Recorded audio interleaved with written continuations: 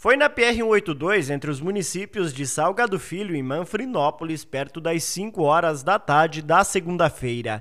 Guilherme Júnior dos Santos, 23 anos, pilotava essa moto que bateu nessa caminhonete. O jovem sofreu ferimentos e foi encaminhado ao hospital.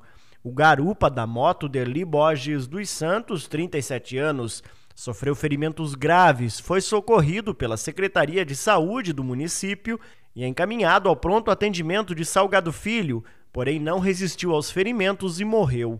O corpo dele foi encaminhado ao IML de Francisco Beltrão. O motorista da caminhonete não sofreu ferimentos.